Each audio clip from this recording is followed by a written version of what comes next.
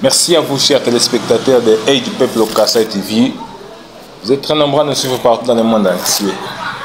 Nous, c'est Que dit le peuple Notre émission Que dit le peuple analyse, explique et commente quelques actualités du pays, de la province, en politique et dans d'autres domaines. Mais surtout en politique, nous nous sommes basés là-bas. Nous jetons un coup d'œil aux, aux, politiciens, ce qu'ils font, et nous venons faire quelques analyses.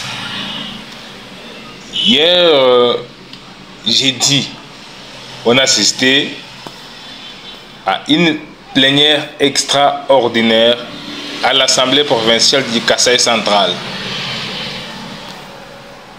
Le point qui était à l'ordre du jour était celui de l'investiture du gouvernement Joseph Moïse Kamboulou. C'est un gouvernement qui a au total 10 ministres, a été investi euh, hier au Capitole. Ces 34 députés qui composent l'Assemblée provinciale, on avait assisté à une plénière de 28 députés. Aujourd'hui, on va expliquer, aujourd'hui, on va analyser sur l'activité qui s'était déroulée au Capitole. Je reçois pour vous euh, les notables et dignitaires de la province du central. Léon Damikasakou, que nous disons bonjour. Bonjour, euh, monsieur Valentin. Oui, euh, notable Léon Damikasakou, avec vous, on va analyser l'activité qui s'est déroulée hier 18 juillet 2024 au Capitole. Vous avez assisté avec moi euh, à l'investiture du gouvernement Moïse Kamboulou. Vous avez vu comment le gouverneur a expliqué son plan d'action aux honorables députés et il y a eu euh, un tas de questions au gouverneur. Quel a été votre point de vue après avoir vu tout ça? Bon, d'abord j'ai un, senti un, sentiment de satisfaction. Mhm. Un sentiment de satisfaction, pourquoi? Parce que moi-même personnellement, j'étais avec vous, je vous ai dit que je soutenais ce gouvernement. Voilà. Euh, quel que soit euh, ce que les gens peuvent euh, dire ou parler, dans tous les sens. Mhm. Moi, je dis qu'il n'est pas toujours facile de former un gouvernement de 10 personnes Voilà. et satisfaire tout le monde. Non, ça n'existe pas. Même dans le gouvernement, la République, là où il y a 50 postes, tout le monde n'a jamais été content. Il y a des frustrés, n'est-ce pas? Oui. Donc il en est de même. Question maintenant que tout le monde comprenne qu'on ne peut pas satisfaire tout le monde dans un gouvernement provincial. On peut avoir des qualités plus que ceux qui sont là, mais il y a beaucoup de, paramètres. Hein, Il y a beaucoup de pesanteurs qui entrent en ligne de compte pour pouvoir former un gouvernement. Et quand euh, le gouverneur euh, prend cela en ligne de compte, je crois qu'il y en a qui doivent être frustrés, il y en a qui doivent être contents maintenant. Mais le problème, c'est quoi? C'est lequel? Le problème, c'est de soutenir le gouvernement euh, Joseph Moïse Kamboulou, Congo, pour que nous puissions arriver au développement que nous voulons de tous les vœux. Le problème de développement du Kassai central, ce n'est pas un problème du gouverneur de province lui-même, ou de son vice-gouverneur, ou de son gouvernement, c'est le problème de nous tous. Centre Kassaïen, nous devons nous tenir la main dans la main, nous devons regarder dans une seule direction, et nous devons savoir que nous avons un seul dénominateur commun, c'est le Kassai central. Et si nous pensons de cette façon-là, nous devons soutenir le gouvernement actuel, et voir comment il va travailler. Et c'est après seulement que nous allons l'évaluer. Maintenant, là, nous avons l'obligation, pour tous ceux qui aiment cette province, qui aiment cette ville, nous avons l'obligation de soutenir le gouverneur de province avec son gouvernement. C'était d'abord ma satisfaction du fait que ce gouvernement a été investi hein? bakujadika Voilà. bakusombesha bapeshe bokalenga bakubapeshe bukalenga bakubapeshe bakokesi onso bwabo bokumuna mwakutulombola voilà. Bwani même njeni jisamka bamwana vraiment. C'était ça mon, point- mon, mon point de vue. Voilà. mais pas tout tout kubwela mubidi bien zeka c'est là que nous devons analyser certaines choses et dire certaines choses même si ça plaît ou ça plaît pas aux uns aux autres. Mais le problème est que nous nous nous inscrivons dans la logique de soutenir le gouvernement Joseph Moïse Kambou c'est pour cela que au cours de cette séance que nous avons avec vous voilà. je vais euh, faire quelques analyses. Je vais euh, donner quelques recommandations. Euh, S'ils sont respect- euh, réceptifs, hein, euh, réceptifs, ils vont le faire. S'ils ne sont pas réceptifs, au moins, j'aurais dit quelque chose. oui C'est ça mon problème. vous, allez le dire dans cette émission monsieur Léon Namikazakou nous avons vu le gouverneur de province qui est venu avec un plan d'action pour les uns le budget qu'il avait estimé travailler avec euh, c'est un budget exorbitant que lui-même n'aura pas la chance de mobiliser. Est-ce que vous voyez que Moïse Kamboulou av- l'a- l'a- l'avait fait par sentiment ou il a ses, ses partenaires ou les ressources ici au Kassai qui peuvent l'aider à concrétiser sa vision Il a une vision, mais jusque-là, il n'a pas le budget. Non, je ne m'inscris pas dans cette logique-là. faut pas être pessimiste. hein. Voilà. On ne vend pas la peau de l'ours avant de l'avoir tué.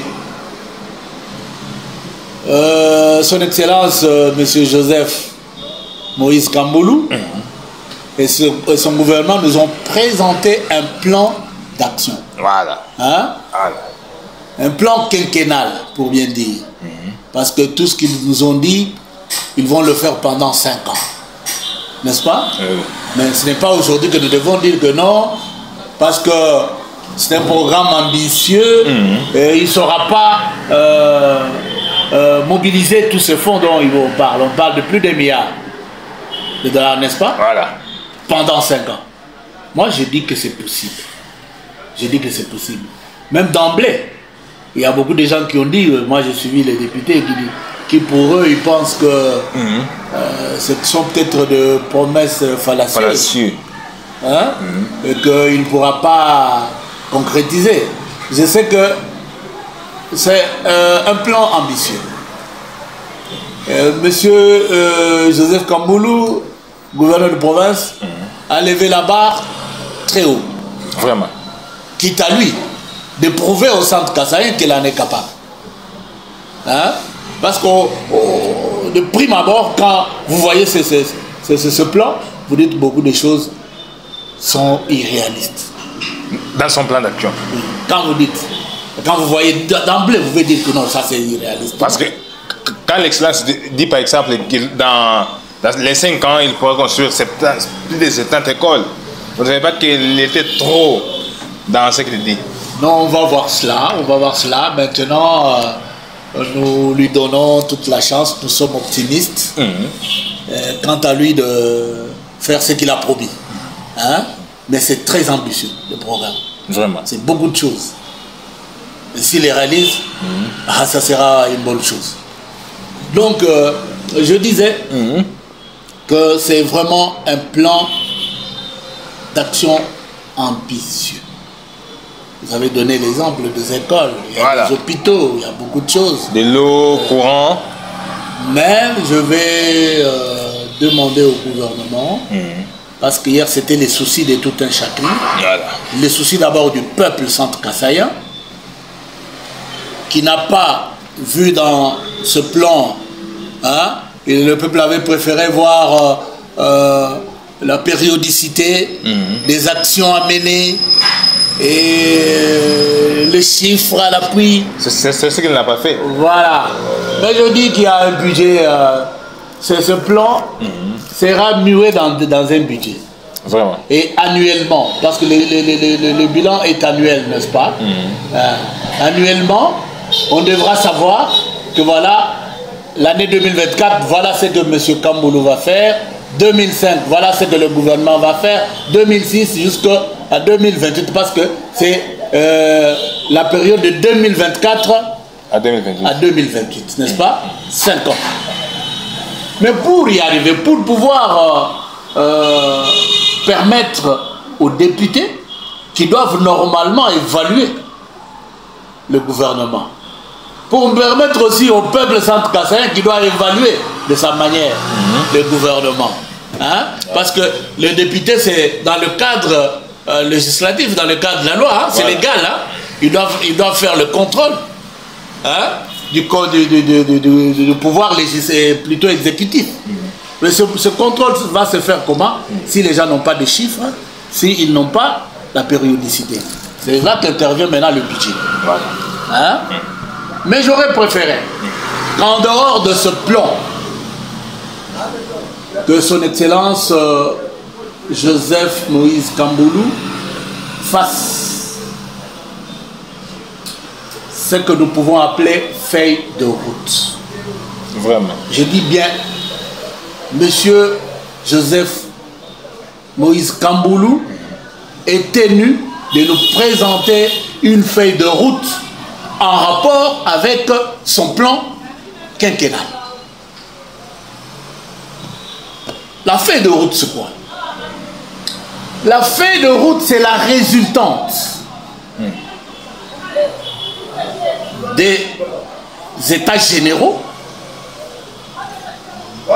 l'état, les états généraux qui aboutissent, les, états généraux, nous pouvons les appeler euh, comme euh, euh, les, les, les diagnostics, hein, Voilà. hein, les diagnostics qui doivent être faits sectoriellement, sectoriellement pour pouvoir dégager les actions à mener et leur périodicité.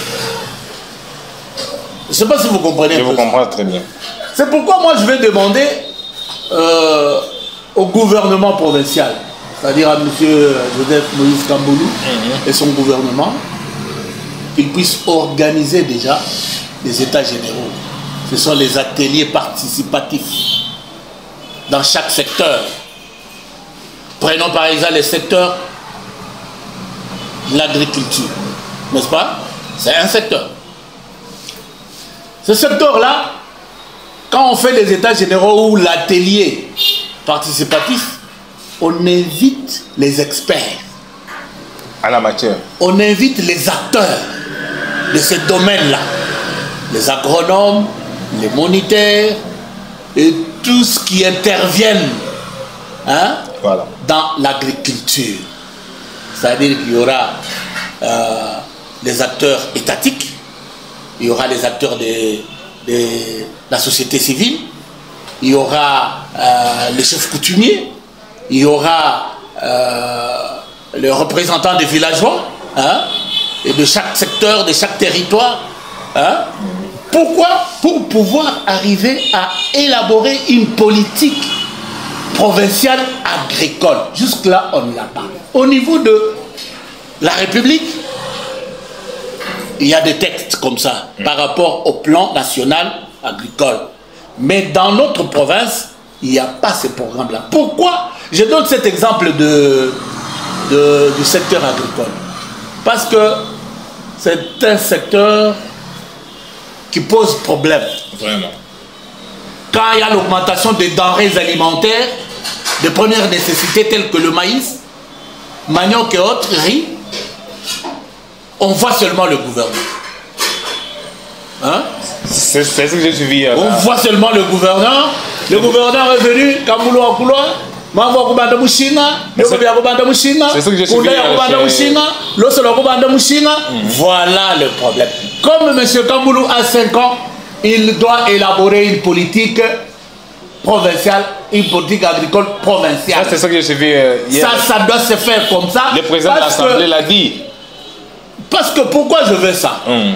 c'est parce que nous ne voulons pas de mesures conjoncturelles. Chaque fois, il y a hausse de prix. euh, qu'on aille Et prendre pour, les navires, euh, qu'on aille chez, Kanyamakasese, qu'on aille à, à Manda pour euh, tracter le maïs qui est là. Non, ça, ce sont des solutions conjoncturelles. Vraiment. Nous voulons que ce problème du secteur agricole soit réglé une fois pour toutes avec le gouvernement Kamboulou. Vraiment. Et pour cela, il faut les états généraux du secteur agricole. Ça, ça, Et on définit la politique de la province une fois pour toutes. Comme ça, on a, on a le maïs quand on veut, on a le riz quand on veut, on a le manioc quand on veut. mais, mais l'action gouvernementale l'avait fait ici, mais il n'y avait, avait pas eu de résultats avec Non. ce secteur. Non, ça c'était une histoire, euh, les gens ont voulu seulement bouffer l'argent. Ce n'est pas ça la politique provinciale.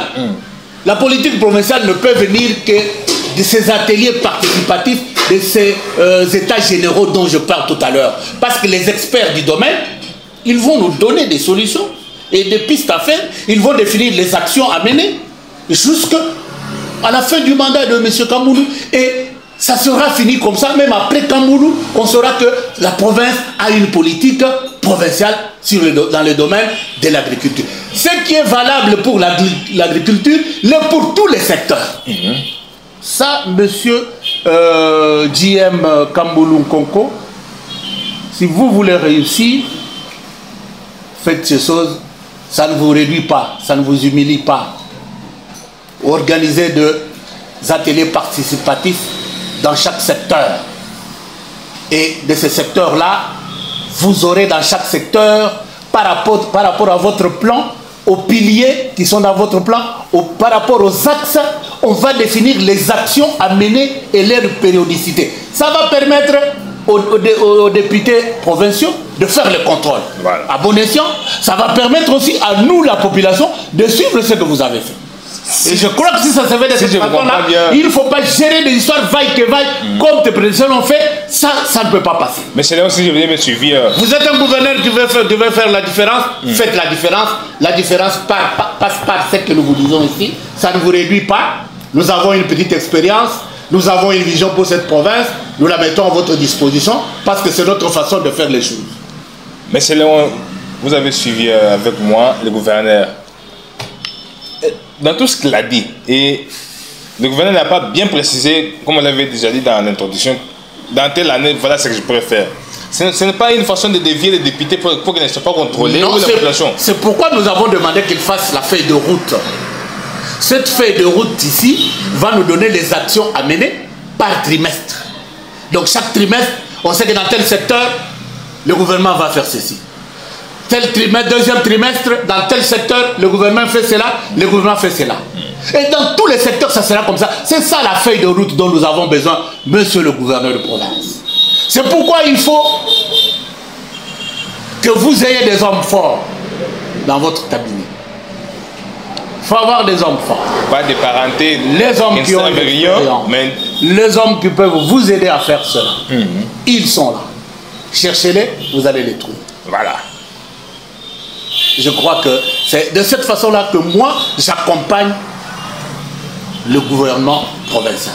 Alors, en- Ce que je demande maintenant, que les états, des généraux, les états généraux soient faits. ça c'est bien compris déjà. les ateliers participatifs dans chaque secteur. Ça c'est bien compris. Le gouverneur pourra nous suivre dans cette émission. Il Et de là, je pense. on va aboutir à la feuille de route sectorielle et quand on va mettre ensemble par rapport aux piliers et axes qui se retrouvent dans le plan d'action, le travail est fait.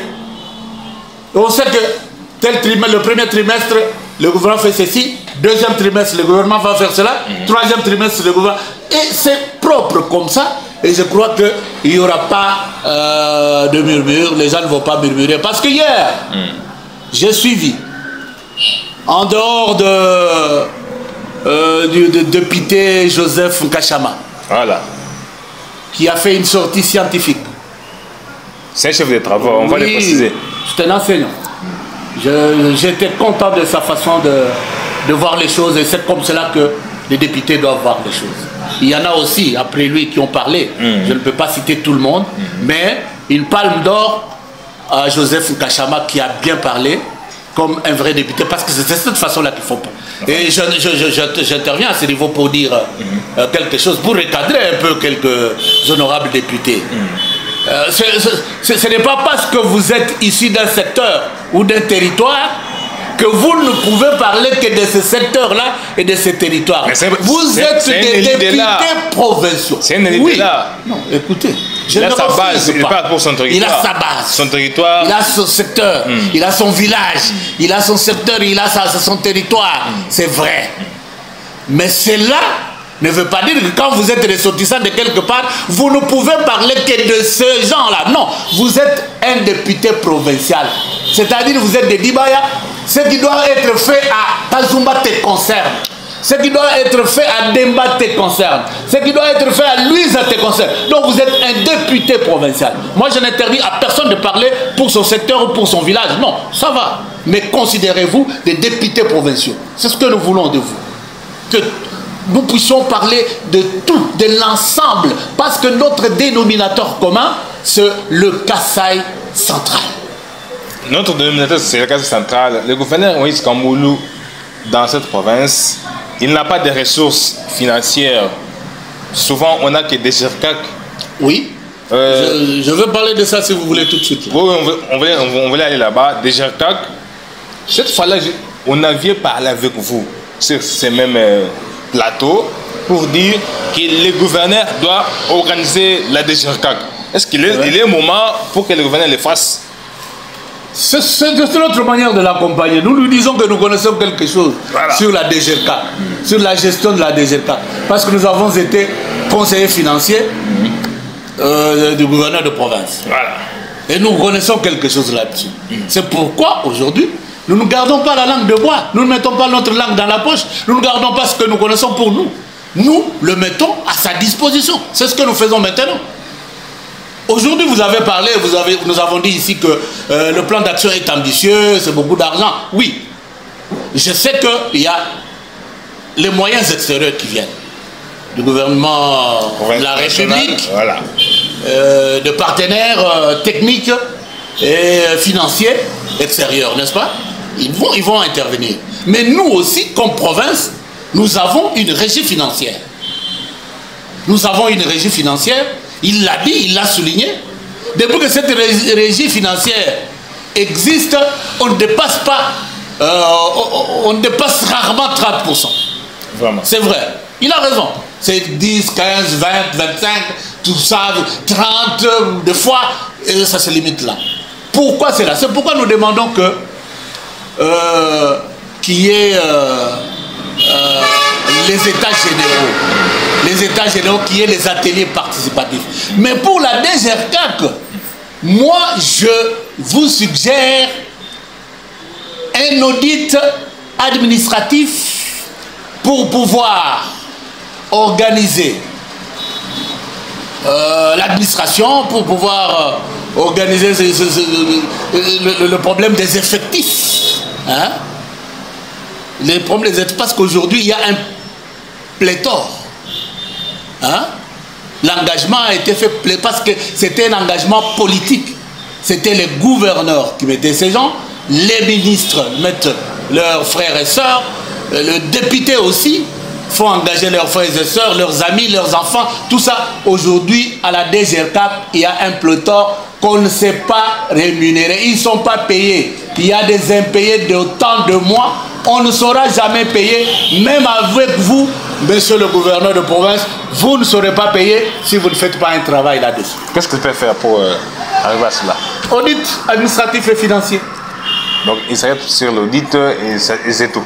Oui, quand il y a l'audit financier, on va redéfinir le cadre logique, on va redéfinir les postes, on va redéfinir le, euh, le- le- le- les attributions, les tâches, hein, et on va réduire l'effectif à moins de 100, à moins de 100. Même si, euh, je ne sais pas, on a créé d'autres choses, mais à moins de 100. Parce qu'aujourd'hui, je crois qu'il y a 300 personnes à peu près à la DGRK qu'on ne sait pas payer. Souvent, quand nous remarquons à la nous voyons, nous voyons Il n'y a que- pas de job description pour les gens. Les postes ne sont pas définis. La- la plupart- Cadre logique inexistant. Voilà, la plupart des gens qui sont là-bas sont des, des gens qui sont venus dans des recommandations. On dit Oui, toi, clientélisme politique. l'autre soit là-bas. Clientélisme, on n'a pas pris de techniciens. Les gens qui, qui- qui doivent avoir une- un, un minimum de compétences, non. Hmm. On prend parce que c'est un frère, c'est une soeur, c'est une belle-sœur, c'est- c'est pourquoi là, c'est pléthorique. Donc il faut mettre fin à cette histoire. Vous, monsieur Kamboulou, Joseph, avec votre gouvernement, n'entrez pas dans ces impayés ici. N'entrez pas dans ça parce que vous ne saurez pas payer. Il y a un pléthore. Il faut mettre les gens à la porte. Quant au Et chef bonne manière, bien entendu. ou DG de la DGCAC, est-ce que le gouverneur peut toujours mettre des politiciens là-bas? Pourquoi pas mettre un, un, un technocrate qui n'est pas C'est pourquoi politicien nous disons qu'il faut dépolitiser, dépolitiser totalement la DGRK. Ça fait débat à l'Assemblée Il provinciale. faut dépolitiser la DGRK. fait débat. Il faut mettre la- à la tête des gens qui conviennent. Parce que on pourrit toujours pas la tête, hein, le poisson. Vraiment. C'est pas la tête. Vraiment. Quand les têtes- la tête n'est pas bien, vous croyez que euh, en bas là, ça va faire quelque chose? Non, ça ne fera rien. Donc je disais ceci, Mm. pour la DGRCAC, on organise un audit administratif Mm. pour redéfinir le, cas, euh, le cadre logique, Voilà. redéfinir les postes, diminuer les, les- les effectifs. Et dans l'audit financier, nous allons aboutir à l'élargissement de l'assiette fiscale. Là, je vois l'impôt foncier. Aujourd'hui, nous avons dans cette ville à peu près 2 millions d'habitants. Vraiment. Nous pouvons avoir autant de parcelles. Chaque parcelle doit payer l'impôt. C'est ça. L'impôt foncier. Vraiment. Nous devons travailler avec les chefs de quartier, nous devons travailler avec le, le, le- le bourgmestre, nous devons travailler avec les chefs de, de, de rue, de localité, nous devons travailler avec ces gens-là pour la DGRK. Pour que tout le monde paye l'impôt foncier. Parce que c'est le plus grand impôt là-bas, l'impôt foncier. Et euh, unifier l'assiette euh, euh, fiscale. Parce qu'aujourd'hui, c'est chacun qui a son assiette dans sa poche. Il a ses propres, son propre fichier. Quand il veut avoir de l'argent, il va là, il prend l'argent, il met dans sa poche. C'est comme ça. L'IREL aussi. Ça, on va attaquer les Il y a ministres l'IREL aussi. C'est les ministres des Finances surtout qui pourra. On va aboutir, donc pour, pour la, la DGRCAP, on doit aboutir à l'élargissement sur le plan financier hein, de ces deux impôts-là. Aujourd'hui, Et nous allons parler aussi du péage, On qui va- est un impôt important. on va y arriver. Nous avons un ministre provincial des Finances. Oui. Les, les nouveaux ministres que nous saluons, euh, l'homme de l'île de Pes, Tati Choubola, nous vous disons bonjour. Aujourd'hui, euh, messieurs les ministres, pas encore entré dans les mêmes pas que son prédécesseur. Nous avons vu des conflits euh, entre les gouverneurs, entre euh, son ministre, des GERCAC, il n'y a pas les ententes. Est-ce que le gouvernement provincial actuel peut recourir dans les mêmes habitudes devant un ministre des, Finances qui est le tout puissant? À la DGRCAC qui dit du n'importe quoi, qui a ses. Donc, qui a tout pour faire? Non, il y, y a des règles. Il y a des règles de jeu. La DGRCAC est sous la tutelle du ministère des Finances. Voilà. Le gouverneur a son conseiller financier. Voilà. C'est lui qui chapeaute, c'est lui qui est le chef du gouvernement. Les, ins- les instructions viennent du gouverneur. Hein? Et le ministre est là, de finances, il fait son travail et il va organiser la DGRCAP. Moi, je dis que à la DGRCAP, c'est la politisation qui, a- qui pose problème Voilà. c'est la politisation qui pose problème. Parce qu'on met n'importe qui à la tête, on met n'importe on, on, on- recrute n'importe comment, sans concours, sans test, et une régie technique, hautement technique. Ça demande quand même le concours. Il faut engager les gens du domaine, les gens qui connaissent quelque chose. On ne peut pas prendre quelqu'un qui a fait euh, euh, les sciences médicales, on, on- on- on- on- on le met à, DG, à la. DGRCAC. DG. Il va faire quoi? Il va comprendre quoi? Donc, c'est pourquoi nous disons qu'il faut dépolitiser carrément la DGRCAC. Quant aux barrières, Hein? Aux barrières, oui, c'est le péage. C'est aussi un impôt, n'est-ce pas? C'est une taxe. Hein? Ce n'est même pas un impôt, mais c'est une taxe. Le péage, c'est une taxe. Voilà. Pour le service que l'État rend, alors les transporteurs payent cette taxe-là. N'est-ce pas? Ah oui. Et il faut s'organiser parce que euh, avant, M. Kamboulou, euh, le, le, le, péage, pour la plupart, surtout le péage de Kalamambouji, ça allait directement dans la maison du gouverneur. Voilà, C'est comme ça que ça se faisait. Maintenant, il faut qu'il change les choses. Parce que lui, il est venu pour changer des choses. Le même a dit, hein? même a dit la caisse La Il faut changer des choses. Voilà. Et le péage doit suivre euh, le, processus normal hein, pour entrer dans les trésors publics. Voilà. Hein? Et on ne met pas les gens des péages parce que c'est un frère, c'est une sœur. Non, ça ne doit pas se faire comme ça. Donc, il faut changer des choses. Hein? Concrètement. Puisque hmm. nous avons besoin de l'argent propre, des fonds propres, hmm. nous devons travailler sur la DGRCAP. Si on ne travaille pas sur la DGRCAP, on n'aura pas l'argent. Merci. On n'aura pas l'argent. On va il faut travailler. On va, on va élargir cette question des finances. il faut travailler absolument sur la DGRCAP. Voilà. Sans oublier les MIBA. Il y a déjà un problème avec euh, le Cassel central, euh, avec les MIBA. J'ai suivi ça hier à l'Assemblée. Mais la MIBA est en faillite. On va peut-être réconcilier. Vous croyez qu'on va vous payer cet argent comme ça? On dit l'AMIBA. Oh, il ne faut pas encore euh, voir l'AMIBA. Voyons des R4. C'est ça le fonds propre. Même Dieu, quand il s'est retrouvé avec Moïse pour l'envoyer, mm. hein, pour la délivrance du peuple hébreu, il a dit Qu'est-ce que vous avez à la main? Moïse a dit J'ai le bâton. Donc maintenant. Et le bâton est devenu c'est un serpent qui engloutit les autres serpents. Nous, nous actuellement, nous avons qu'il a déjà Oui, nous, nous, la province du Kassa central, on a notre régie financière, c'est la, la. Nous devons travailler sérieusement sur la DZRCAP pour pouvoir renflouer, mobiliser euh, de l'argent pour ce projet ambitieux. Et si on ne le fait pas, hmm. Voilà, nous allons essayer de, de, chercher un honorable pour nous expliquer le cas de Miba. Parce que ça fait couler de l'encre et des salives. Ces, ces trucs-là, on pourra revenir avec ça. Non, pour l'AMIBA, effectivement, l'AMIBA doit à, la province pour ces, ces, carrés miniers qui sont ici. Hein? Il en a partout ici, dans la province du Kazan.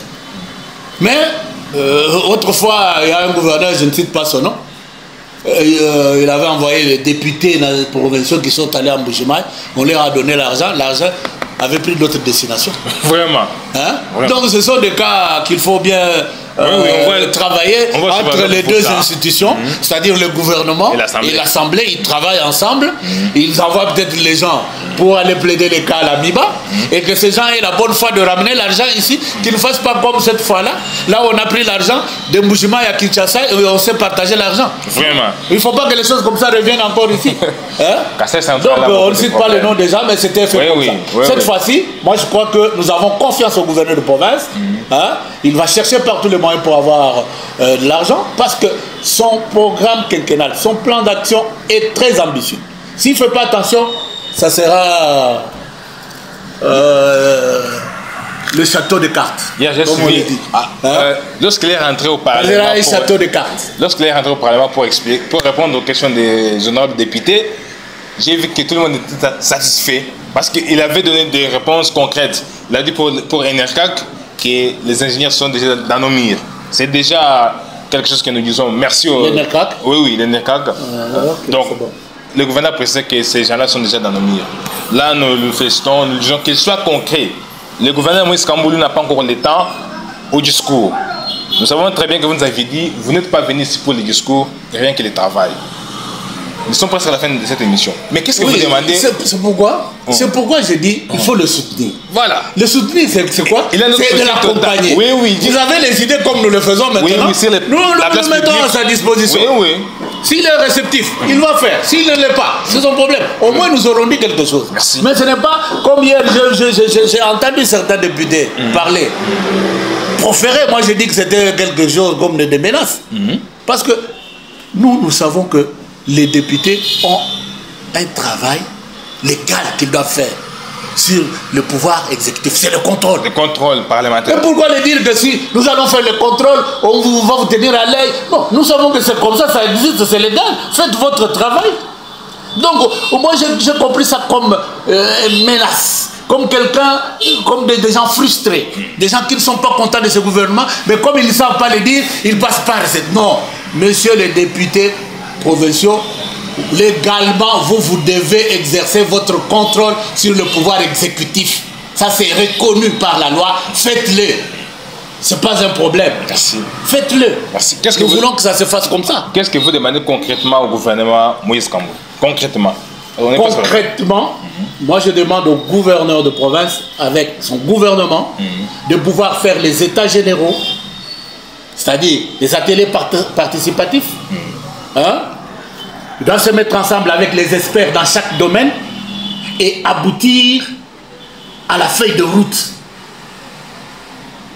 Et quand nous avons une feuille de route, même les députés n'auront pas de problème pour faire le contrôle. Merci. Même les- le peuple centre kassaïen n'aura pas de problème pour voir que le gouvernement, leur gouvernement est en train de faire quelque chose. Hein, au lieu de laisser les gens dans le flou. Hein, et ça, c'est très important. Merci. Et ça va marquer la différence, monsieur Joseph Moïse Kamboulou. Merci. Faites les états généraux et vous verrez que ça va aller. Vous aurez une feuille de route sectorielle et vous comprendrez que les choses vont aller vite. euh, Et nous vous demandons aussi d'être redevables.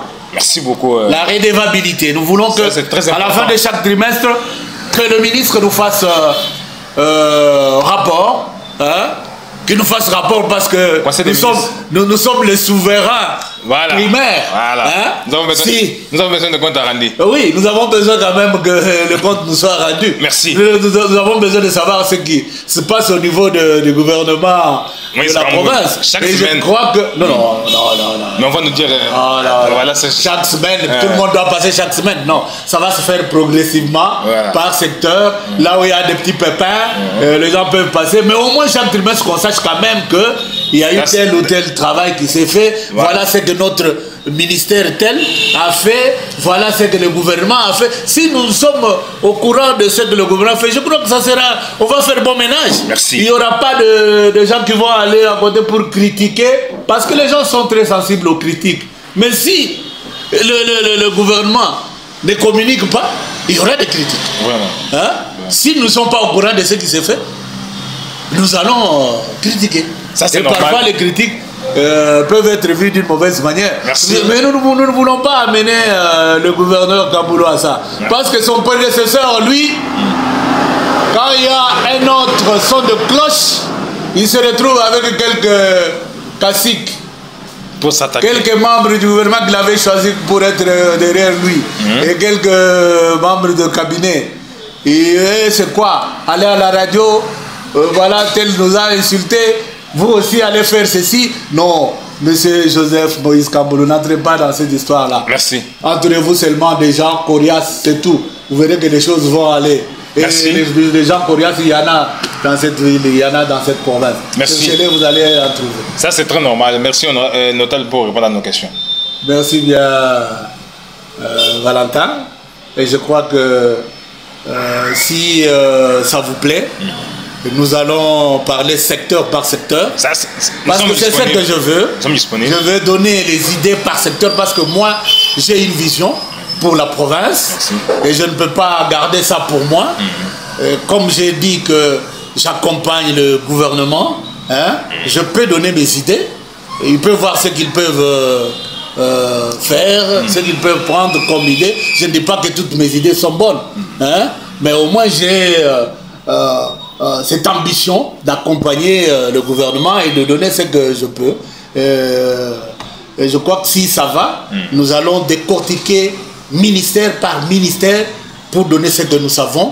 Et je crois que ça peut profiter à notre province. C'est de cette manière-là que nous pouvons accompagner Moïse Kamboulou comme notable de la province du Kassai central, comme expert aussi dans certains domaines, hein, et avec la petite expérience que nous avons eue aussi, pour avoir euh, travaillé euh, Merci. dans autant de gouvernements provinciaux. Merci beaucoup, euh, notable. Chers téléspectateurs de Haiti Peuple Kassai TV, nous sommes presque à la fin.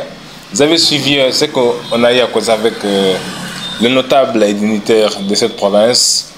Nous, nous sommes là pour accompagner les institutions provinciales dans tout ce qu'elles font comme euh, les sociales, euh, le développement du peuple. Nous, sommes derrière pour les accompagner.